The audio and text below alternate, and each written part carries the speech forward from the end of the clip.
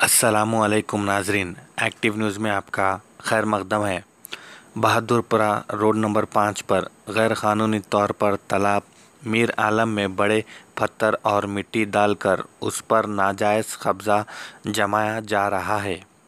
मुकामी आवाम ने जीएचएमसी और मंडल ऑफ़िस में दरख्वास्त पेश की, लेकिन कोई रद्द अमल नहीं। इसीलिए आवाम मीडिया के ज़रिए ये बात हुकूमत तक पहुंचाना चाह रही है। हबीब अब्दुल्ला ने इसकी तफसीलात बताई।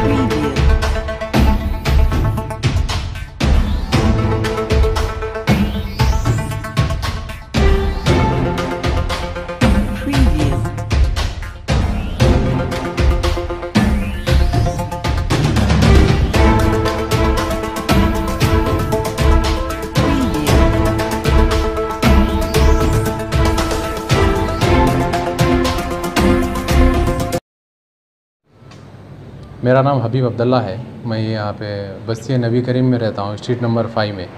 यहाँ बहादुरपुरा ताड़बन चौरस्ता है, वो road B N K colony है, कॉलोनी में रहता हूँ मैं। यहाँ पे मेरे घर के पीछे तालाब है, मीरालम मीरालम टैंक बोलते हैं।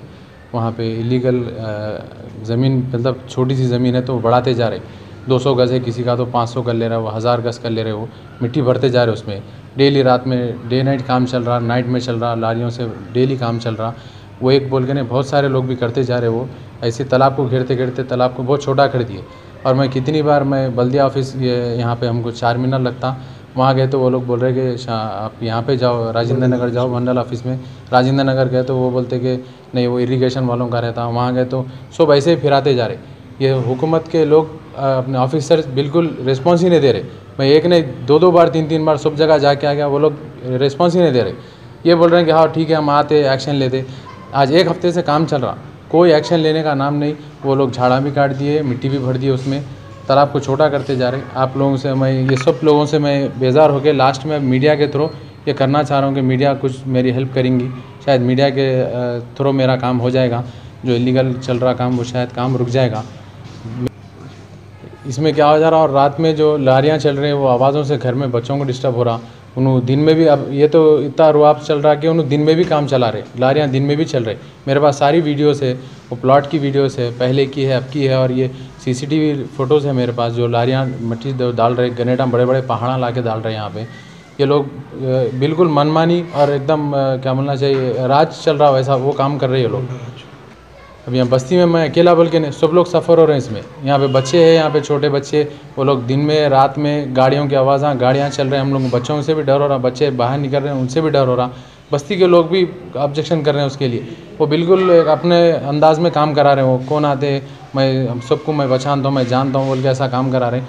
वो एक बोल के नहीं, मेरी सब, सबसे सबसे, सब लोगों से मेरी इंतजा है कि इसको जल्द से जल्द एक्शन लिए।